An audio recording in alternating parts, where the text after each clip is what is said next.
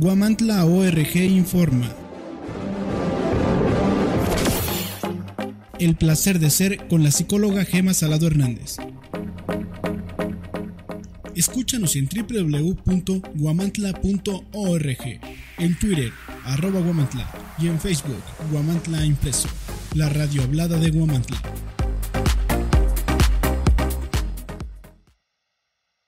Hola amigos? Muy buenas tardes. Bienvenidos al programa El placer de ser.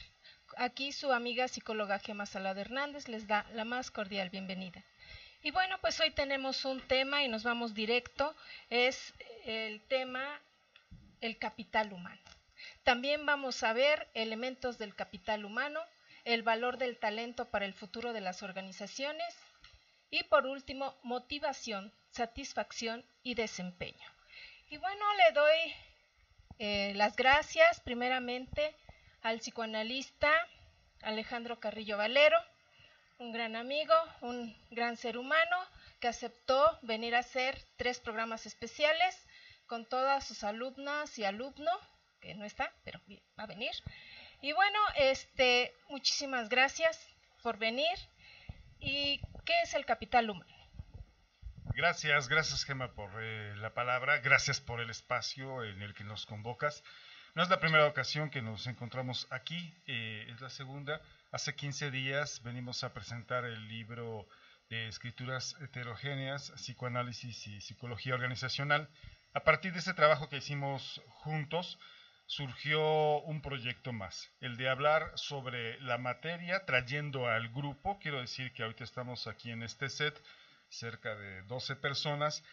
Eh, la clase que usualmente hacemos que apunta a psicología organizacional, industrial, eh, lo que tiene que ver con las em, empresas y cómo trabaja la psicología, eh, hicimos el proyecto de hacerla en esta ocasión in situ, hacerla en este espacio y que fueran los chicos quienes trajeran a colación los elementos más importantes de esta materia, que un servidor se coordinara contigo para que podamos charlar en el espacio de tres horas divididas el día de hoy, eh, la próxima semana y en 15 días.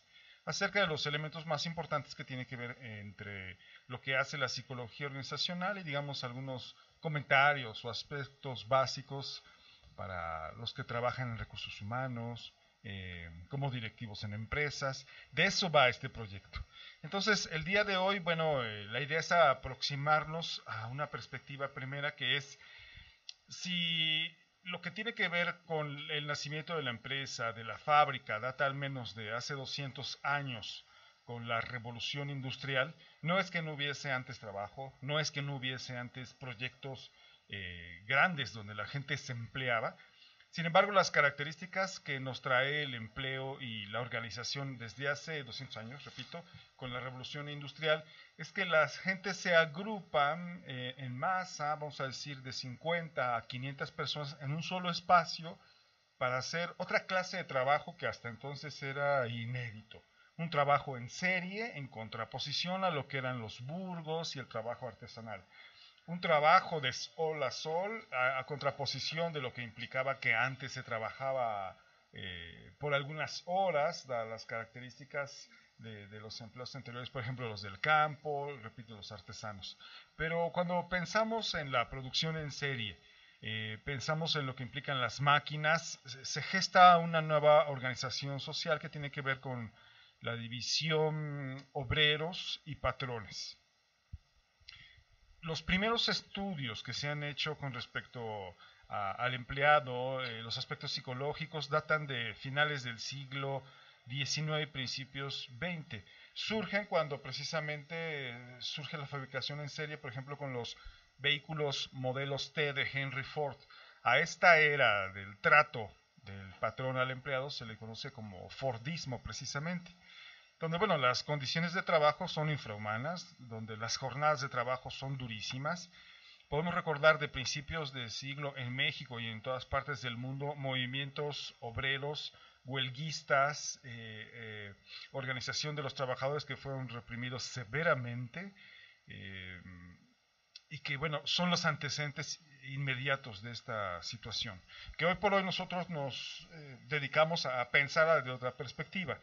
Pero ha existido lo que en un primer momento era Fordismo, lo que en un primer momento eran los experimentos para saber si efectivamente la gente se le favorecía en el trabajo, se le hacía sentir más cómoda, influía en su producción o no, o como la época lo dictaba, ¿no? La letra con sangre entra y la producción con sangre también tendría que salir. Eh, lo que muestran los estudios, lo que muestran los experimentos, lo que hace en otras generaciones es mostrar que sí, efectivamente, eh, alguien que se identifica con la empresa, alguien que, produce eh, ya no solo para el patrón, sino para su bienestar, alguien que es reconocido por sus esfuerzos, alguien que tiene un mejor ambiente de trabajo higiénico, iluminado, con prestaciones, con reconocimiento, definitivamente tiene una producción otra y muchísimo mejor y eficaz que una persona que no tiene un reconocimiento o que trabaja de sol a sol o, donde no existen las prestaciones.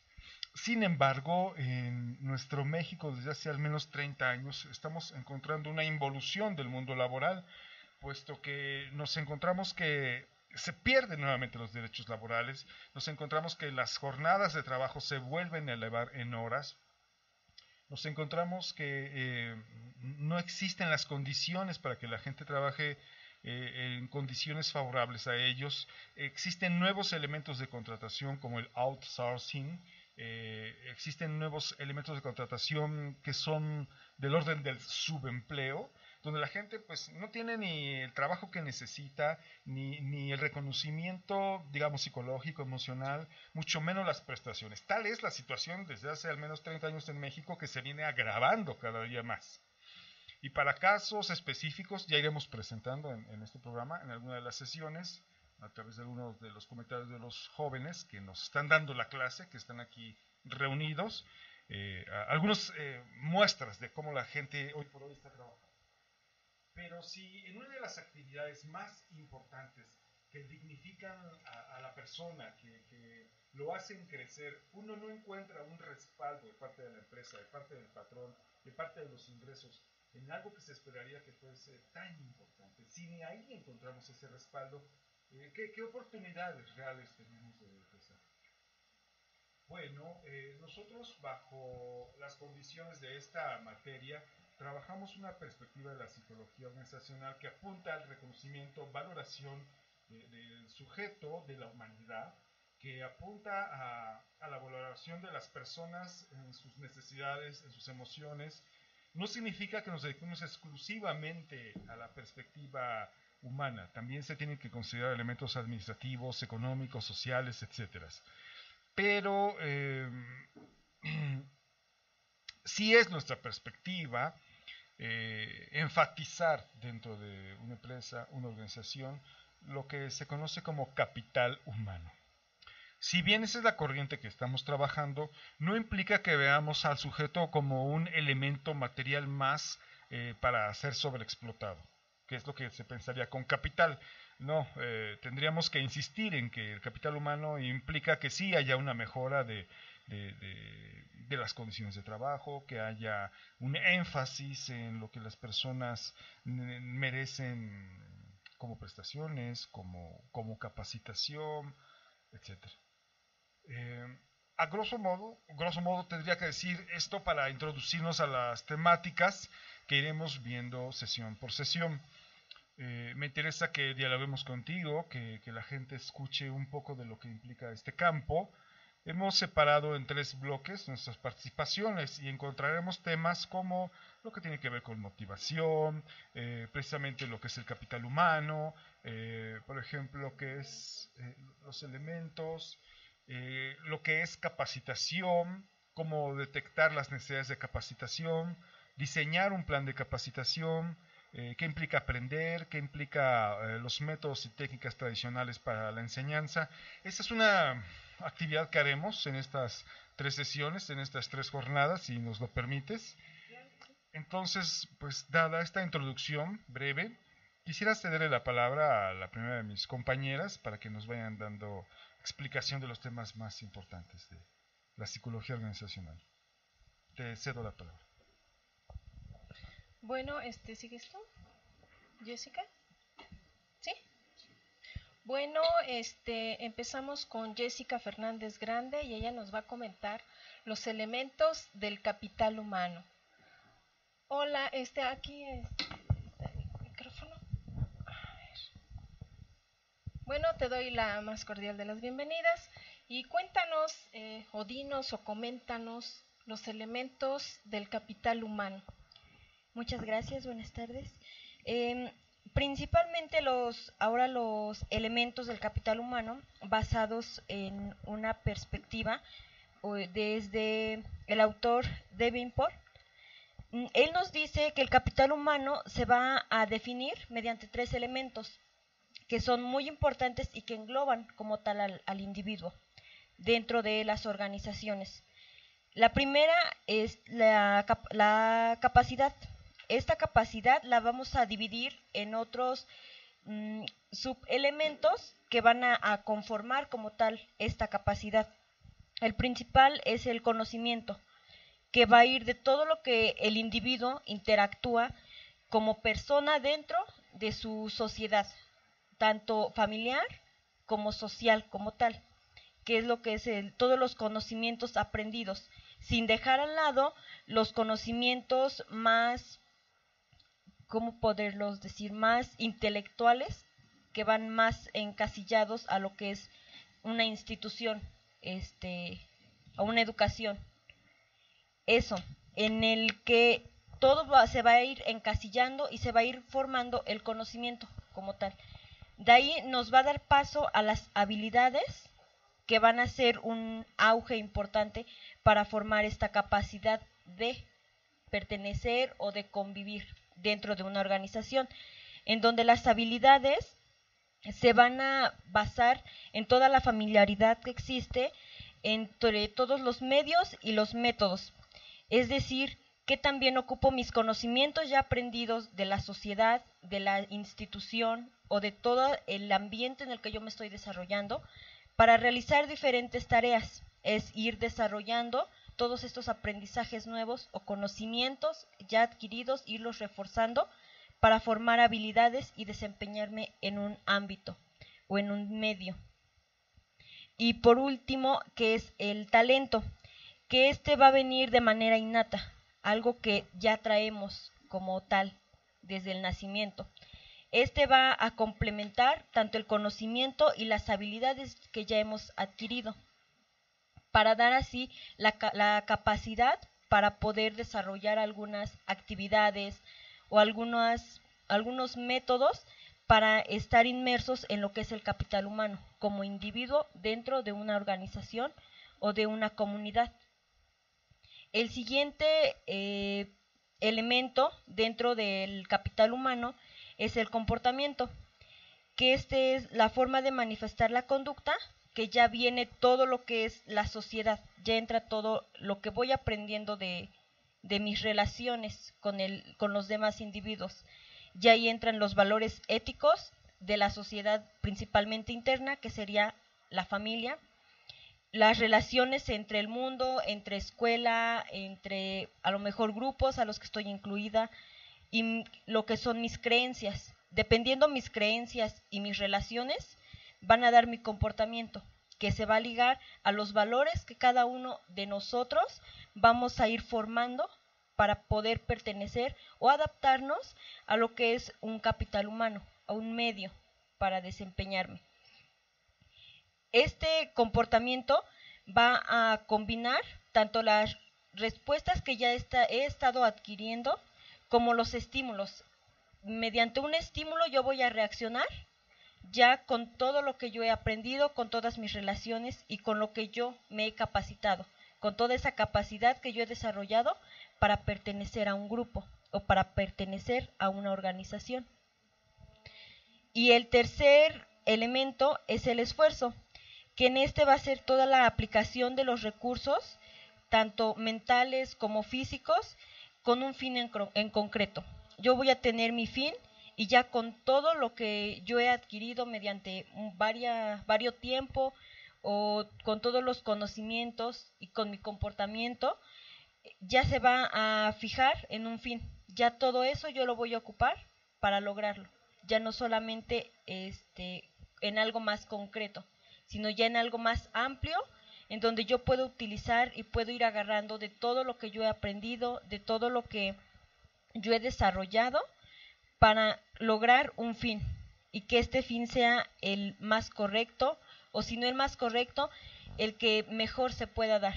A lo mejor en ese momento no se puede lograr como tal un, un bienestar o lograr el objetivo, pero de eso vamos a aprender y vamos a volver a, la capacidad, vamos a volver a desarrollar nuevas habilidades, nuevos comportamientos y a lo mejor otros valores para poder lograr este fin en la siguiente en la siguiente cómo poderlo decir oportunidad o en la siguiente en la siguiente oportunidad que se presente el que pueda yo volver a ocupar todo ese conocimiento ya adquirido.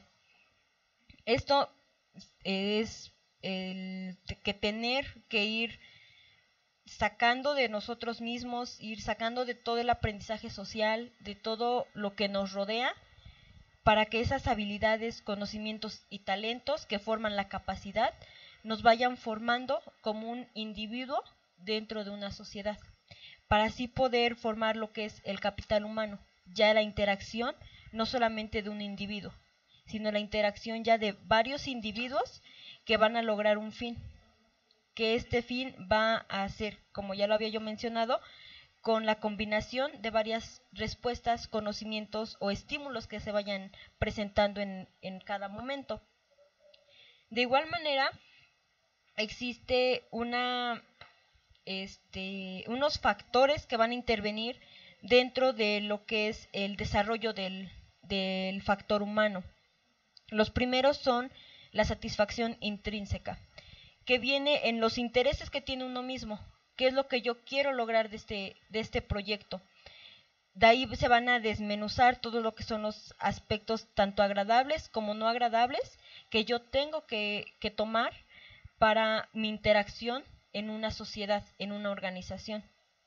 El siguiente es el reconocimiento de logros, que va a ir respecto a los compañeros o de trabajo o miembros de un grupo para desempeñar alguna, algún cambio o alguna tarea que me designen. Es cómo es que yo lo voy a, lograr, pero qué es lo que voy a recibir igual, qué es lo que me está motivando, qué es lo que me está dando paso para que yo pueda realizar. Ya, ya tenemos a lo mejor una satisfacción intrínseca, que es qué es lo que yo quiero, pero igual hace falta el reconocimiento de los compañeros, a lo mejor del jefe, de, toda esa, personal social para que a mí me motive a seguir adelante. El tercer elemento o, o tercer factor es la oportunidad de desarrollo. Que, ¿Qué es lo que yo obtengo al desarrollar esta, esta actividad? Es qué oportunidad existe. A lo mejor el estar en alguna actividad yo tengo, a lo mejor esa, esa actividad yo no la he desarrollado antes, pero eso me va a propiciar un aprendizaje, me puede propiciar un desarrollo más tanto individual como colectivo, me va a enseñar cómo es que, qué es lo que yo tengo que realizar y cómo me tengo que desempeñar frente a varios de mis compañeros, en conjunto con mis compañeros, y para así poder progresar en la organización y como individuo. El último elemento, que es el cuarto, son las recompensas económicas. Todo trabajo merece una recompensa. Entonces, esa compensación y beneficio que yo estoy recibiendo al realizar esa actividad que va a ser productiva para la sociedad, para la organización, qué es lo que yo voy a, cómo es que me lo van a gratificar, qué es lo que me van a dar a mí para así poder, a lo mejor si, como lo mencionaba, en ese momento no se logró el fin, de eso agarrar lo que a mí me, me toca o me gusta, lo que me sirvió para poder emprenderlo en otra actividad, en otra organización. Esos son los, los factores que, que nos intervienen ahorita en lo que es el, el capital humano. ¿Qué tan importante es para ti la capacitación en una empresa? Es muy importante, es el factor más importante de, una empresa, porque son todos los conocimientos que yo tengo que adquirir, todas mis habilidades, todos los talentos que yo tengo que reunir para poder desempeñar un puesto, un trabajo o una actividad simplemente. La capacitación va a ser ese medio que me va a dar paso a, a un trabajo en conjunto, tanto individual como colectivo. Ya, ya es reunir todo lo que yo sé con lo que saben mis compañeros para trabajar a un fin. Entonces el factor más importante es lo primordial que debe de existir o que existe dentro de las organizaciones. ¿Y cómo favorece la buena o mala actitud dentro de un trabajo? Mm, vamos a aprender, de todo aprendemos. De las malas actitudes, ¿cómo es que yo voy a reaccionar cuando se me vuelva a presentar esa, esa actitud negativa? Porque a lo mejor frente a, cada actitud negativa nos desanimamos y decimos, no, ya no, ¿para qué? Pero no, ¿qué es lo que hay? ¿Qué es lo que yo puedo realizar para poder salir de ese, de ese bache que, en el que estoy pasando? De los positivos, las herramientas que, que yo ya sé que me van a funcionar para poder lograr el fin. Ya no solamente el ir sacando de, o buscando de otras partes, sino ya, ya saber en concreto qué es lo que me, lo que me va a servir de, del aprendizaje, para todo para el aprendizaje. Pues muy bien. Eh, vamos a pausa. Pues vamos a un corte comercial y regresamos.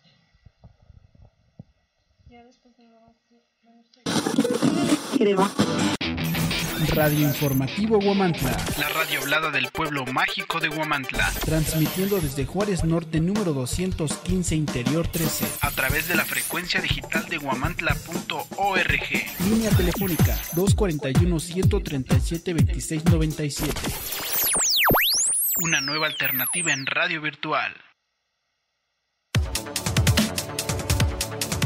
No dejes de ver la transmisión de Informativo Guamantla, las noticias más relevantes de Guamantla, lunes, miércoles y viernes en punto de las 20 horas 8 de la noche, a través del canal 9 de Cablecom.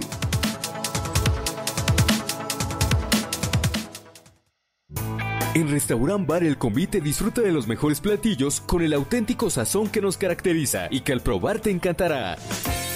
Come delicioso en el mejor lugar de Huamantla, con el menú del día y a la carta que tenemos para ti, de lunes a viernes. Sábados y domingos disfruta de los antojitos mexicanos a partir de las 8 de la mañana. Nos encontramos ubicados en Boulevard Luis Donaldo Colosio, número 115, en Colonia Santa María, Yancuitlalpan, frente al Toro. Llámanos al 247 47 265 44. Restaurant Bar El Convite, un festejo al paladar.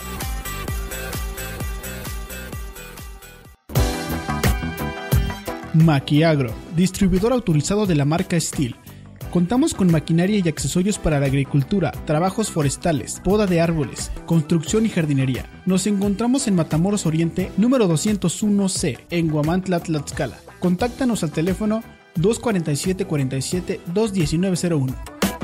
Maquiagro.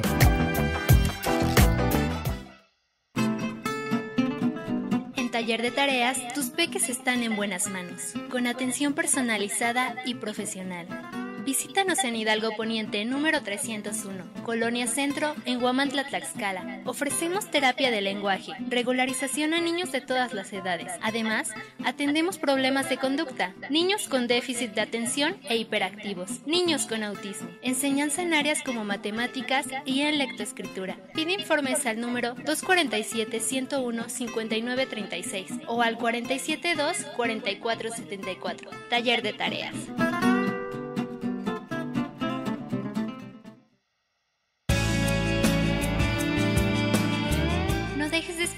Pensamientos en Voz Alta con Javier Bretón.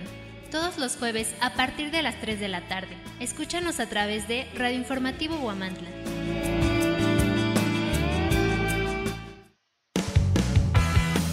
Busca nuestro impreso Guamantla ORG los días martes y viernes en los puestos de revistas, con las noticias actualizadas de Guamantla.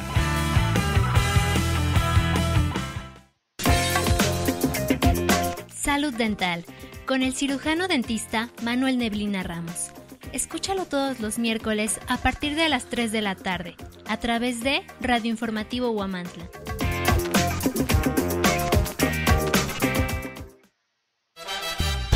Autotransportes Tlaxcala, Pisaco Huamantla, la mejor opción para viajar al destino que tú quieras. Contamos con las más modernas unidades para que viajes cómodo y seguro. Además te brindamos un servicio cálido y amable para que tu viaje sea confortable. Si vas a viajar, piensa en tu seguridad, comodidad y en el mejor servicio que solo ATA te ofrece.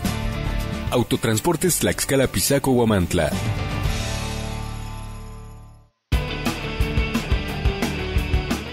De escuchar todos los miércoles a partir de las 5 de la tarde Fútbol y Música con Gio a través de Radio Informativo Huamantla.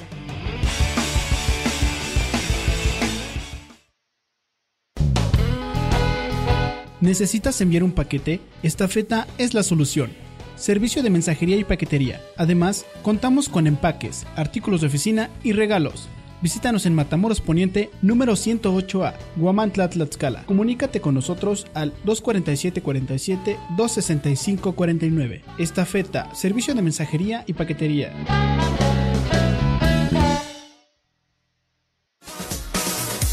Si quieres decorar interiores y exteriores con material de la más alta calidad y precio en el mercado, Sejofra te ofrece perfiles para paneles de yeso y pastas texturizadas, panel rey, permabase, tabla roca, placa y renta de andamios o torres.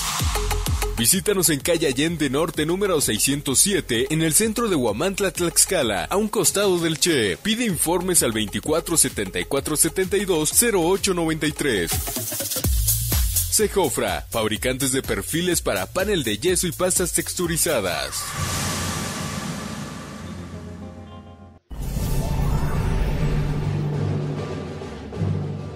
Guamantla ORG informa. El placer de ser con la psicóloga Gema Salado Hernández. Escúchanos en www.guamantla.org, en Twitter, arroba Guamantla, y en Facebook, Guamantla Impreso, la radio hablada de Guamantla.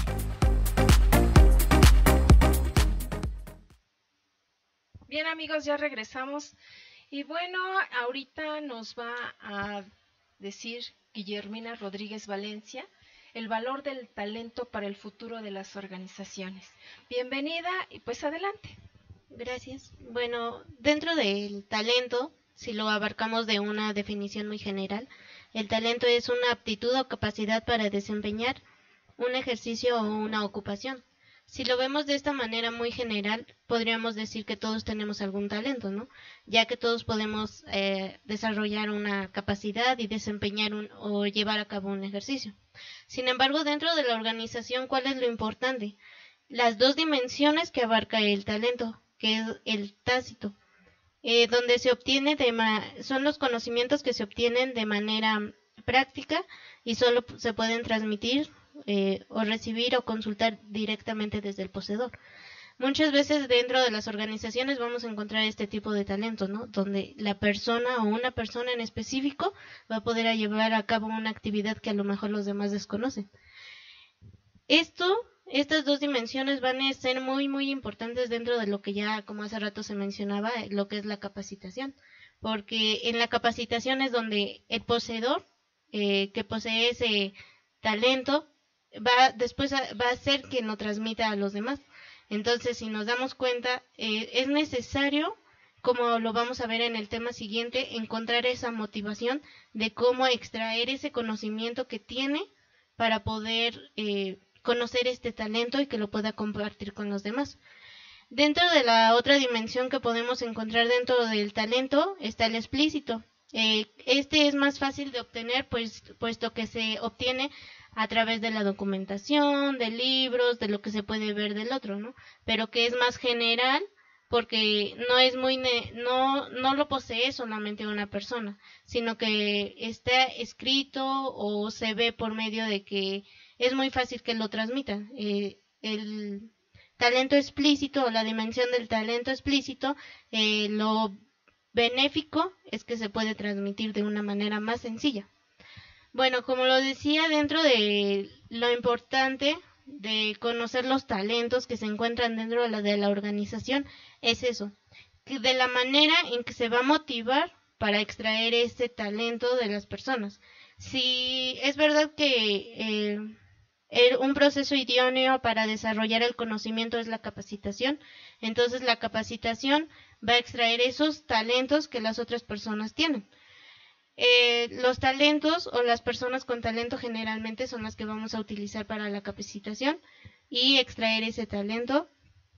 Eh, mm, por ejemplo, eh, el autor Tikuchi nos eh, habla de la capacitación orgánica para generar nuevos conocimientos y materiales en productos o servicios.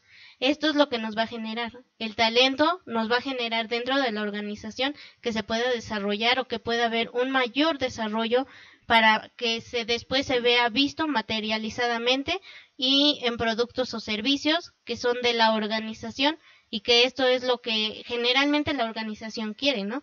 Que la que se produzca de manera efectiva, que haya una un servicio efectivo y que esta este objetivo por el cual la organización generalmente eh, eh, va en busca de ello y se va a desarrollar y sin embargo cuando no encontramos ese talento que las personas poseen dentro de la organización no se va a poder llegar a ese objetivo. Lo importante entonces, como mi conclusión o desde mi punto de vista, es encontrar esos talentos para poder conseguir el objetivo que es hacer una buena producción o encontrar un buen servicio que proporcione la empresa o la industria, sin olvidar siempre que estamos trabajando con capital humano y que no somos máquinas o que no estamos trabajando con máquinas y motivarlos para desarrollar y encontrar esos conocimientos. Muy bien, Guillermina. Y bueno, para finalizar, eh, tenemos el último tema que es motivación, satisfacción y desempeño a cargo de Silvia Flores Hernández. Bien, Silvia, pues, ¿qué nos, ¿de qué nos vas a hablar aparte de todo esto? Gracias, muy buenas tardes. Eh, bueno, ya para finalizar, exactamente les voy a hablar de motivación, satisfacción y desempeño. Evidentemente este ha sido un tema que ha generado mucha polémica tanto en empleados como profesionistas como psicólogos y que sin duda alguna siempre nos ha llevado a quedar pues en ceros, ¿no? O a decir la motivación es este hoy despierta y va a tu trabajo con una sonrisa, siéntete a gusto haciendo lo que haces y hasta ahí, hasta ahí se queda la motivación. Cuando se dan cursos de motivación es precisamente eso, ¿no? O sea, como las 5, 10, 20 maneras de sentirte feliz en el lugar donde trabajas y ya, no más. Pero como psicólogos organizacionales aspiramos a algo más, es decir, a definir realmente qué es la motivación dentro del ámbito organizacional para que los empleados se sientan exactamente motivados, satisfechos y evidentemente tengan un buen desempeño no solamente como personas, sino también como miembros de una institución. Originalmente la motivación se define como ese proceso en el que una necesidad individual o personal es insatisfecha. Esta genera cierta cantidad de energía, la cual se va a direccionar siempre hacia el cumplimiento de un objetivo. Por ende, si este objetivo es eh, cubierto, se es satisfecho, va a haber una em, gratificación para el sujeto. Y esto dentro de una organización va a, pues a conllevar a que exista un buen desempeño. Lamentablemente, no se tiene bien claro dentro de una organización qué es el desempeño, qué es la satisfacción o qué es un empleado motivado. Esto se tiene que definir em, pues desde los objetivos que se plantea tanto la organización y que se toman en cuenta hacia las necesidades del propio empleado. También se debe de considerar cuando se plantea el objetivo o los requisitos más bien que se están solicitando al eh, plantear un perfil de un puesto.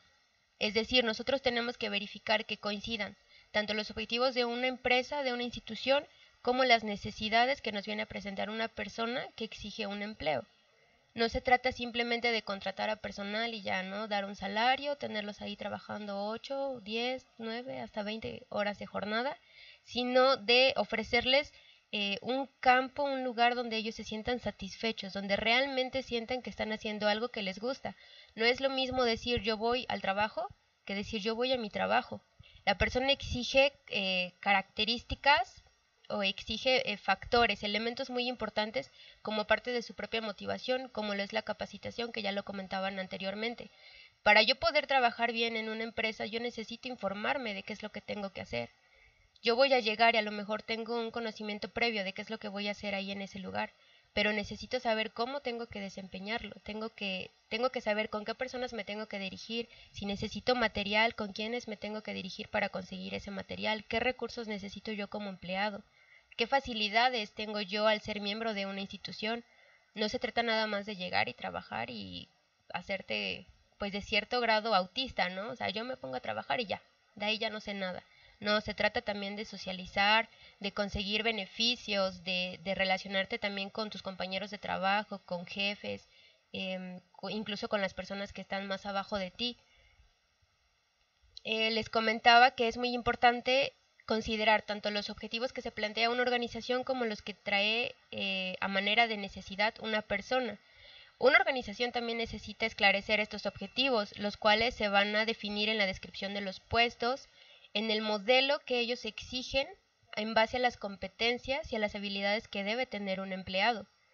Porque evidentemente, eh, pues una institución, una empresa que necesita subir su productividad, pues no va a contratar a cualquier tipo de personas, ¿no? Necesita fijarse una meta, necesita fijarse un perfil donde eh, les comentaba a partir del reclutamiento y selección de personal, yo voy a esclarecer qué es lo que necesito de una persona, si esta persona cumple con esos requisitos, adelante, si no, por eso existe el proceso de la capacitación, para informar a estas personas, para otorgarles las herramientas necesarias que motiven, que hagan satisfactorio el trabajo de estas personas y que por ende pues nos lleve a, un, a, una buen, a un buen desempeño, ¿no? Y que todos como organización pues tengamos una, una buena productividad. Se debe considerar que pues dentro de esta motivación va a existir eh, la motivación intrínseca como extrínseca. La intrínseca es con la que ya nos viene el empleado, ¿no? El empleado tiene ganas de superarse, quizás viene a, conseguir un empleo simplemente porque necesita satisfacer las necesidades de su hogar, quizás porque eh, es momento ya, ¿no? A lo mejor ya está en los 20 años y necesita un empleo, quizás porque sus padres ya no lo quieren tener viviendo en casa y pues ni modo, te tienes que salir a buscar un trabajo, ¿no? Para satisfacer tus necesidades. Pero eh, pues también está la motivación extrínseca, que es la que nos va a proporcionar la empresa. Es donde yo voy a obtener, si bien un, premio o un castigo por el desempeño que yo estoy teniendo.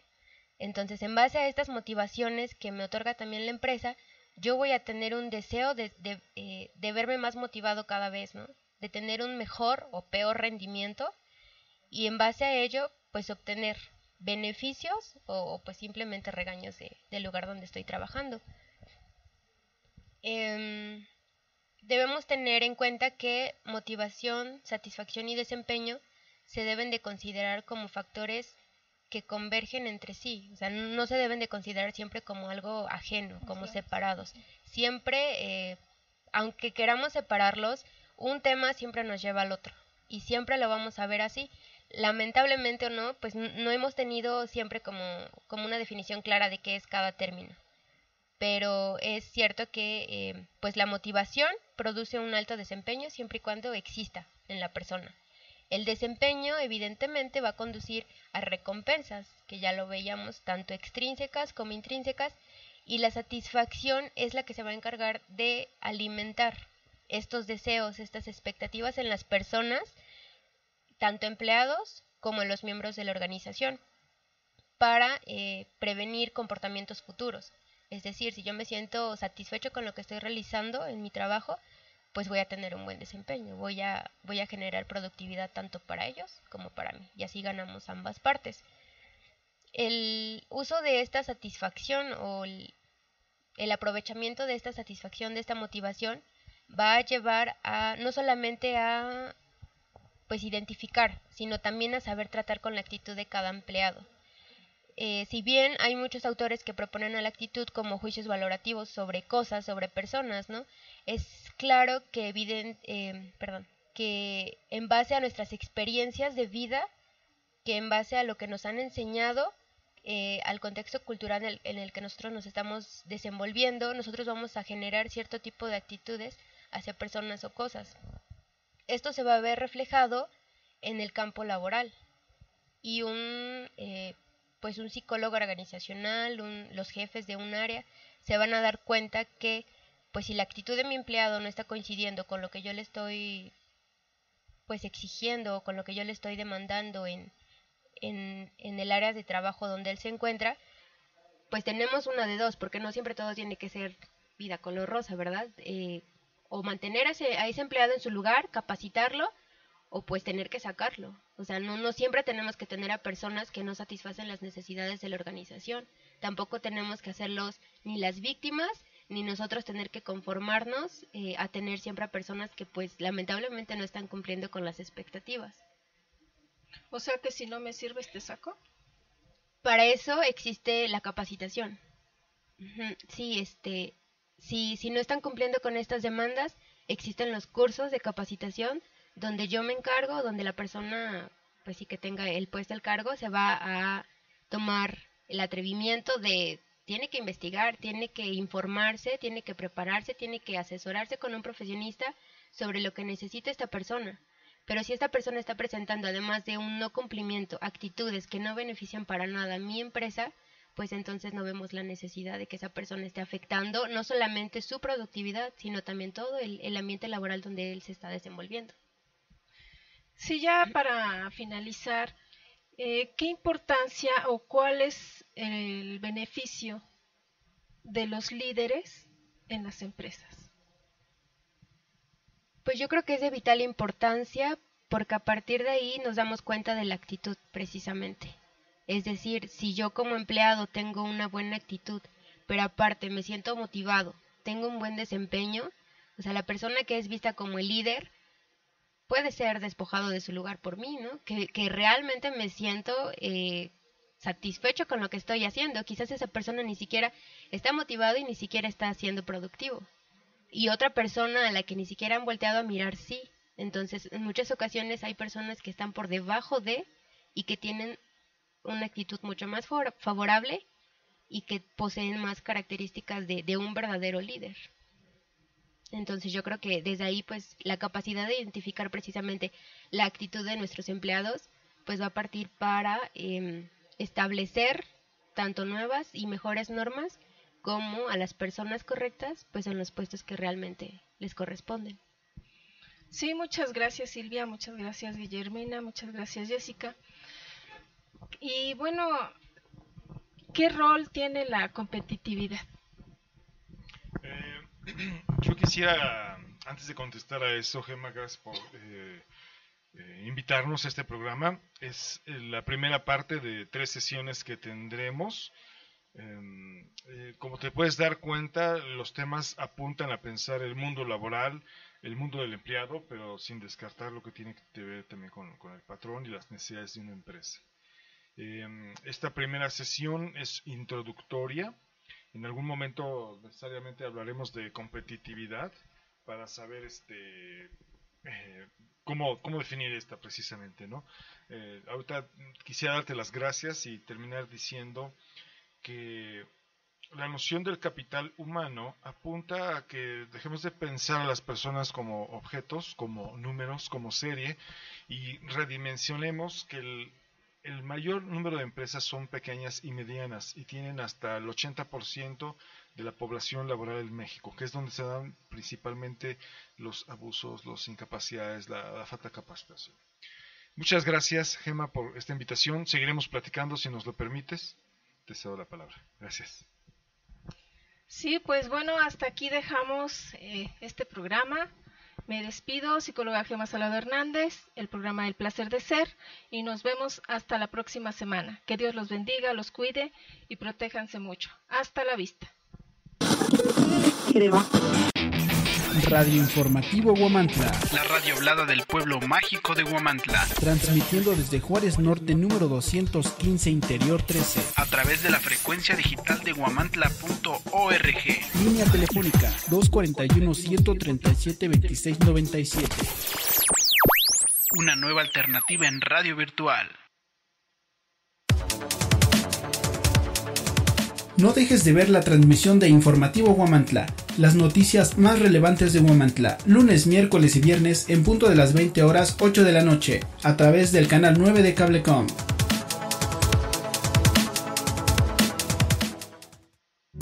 En Restaurant Bar El Convite disfruta de los mejores platillos con el auténtico sazón que nos caracteriza y que al probar te encantará.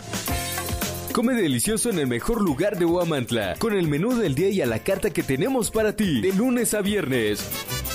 Sábados y domingos disfruta de los antojitos mexicanos a partir de las 8 de la mañana. Nos encontramos ubicados en Boulevard Luis Donaldo Colosio, número 115, en Colonia Santa María, Yancuitlalpan, frente al Toro. Llámanos al 247 47 265 44. Restaurant Bar El Convite, un festejo al paladar.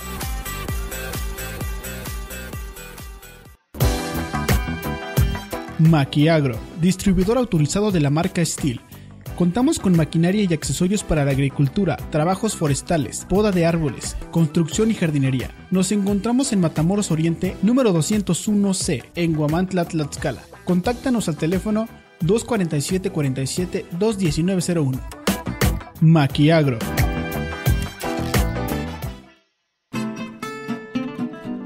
Taller de Tareas, tus peques están en buenas manos, con atención personalizada y profesional.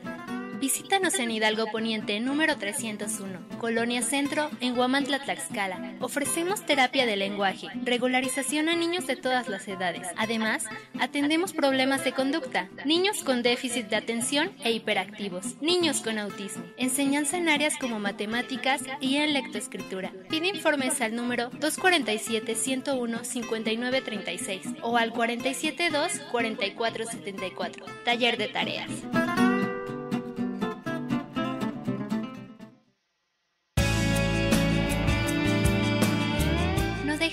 Escuchar Pensamientos en Voz Alta con Javier Bretón.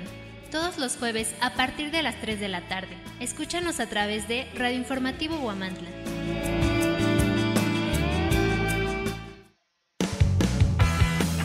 Busca nuestro impreso Guamantla ORG los días martes y viernes en los puestos de revistas, con las noticias actualizadas de Guamantla.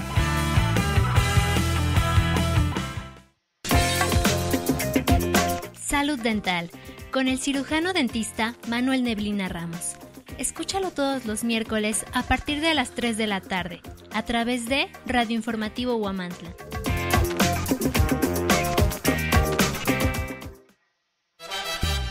Autotransportes Tlaxcala, Pisaco, Huamantla, la mejor opción para viajar al destino que tú quieras. Contamos con las más modernas unidades para que viajes cómodo y seguro. Además te brindamos un servicio cálido y amable para que tu viaje sea confortable. Si vas a viajar, piensa en tu seguridad, comodidad y en el mejor servicio que solo ATA te ofrece. Autotransportes Tlaxcala, Pisaco, Huamantla.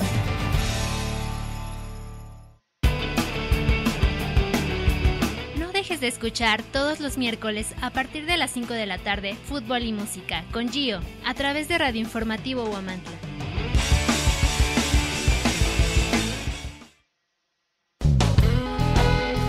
¿Necesitas enviar un paquete? Esta feta es la solución. Servicio de mensajería y paquetería. Además, contamos con empaques, artículos de oficina y regalos. Visítanos en Matamoros Poniente, número 108A, Guamantla, Tlaxcala. Comunícate con nosotros al 247-47-265-49. Estafeta, servicio de mensajería y paquetería.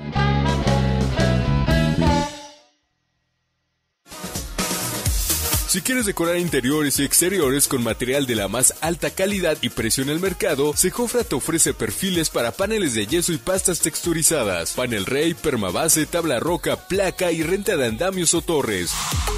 Visítanos en calle Allende Norte número 607 en el centro de Huamantla, Tlaxcala, a un costado del Che. Pide informes al 24 74 72 0893.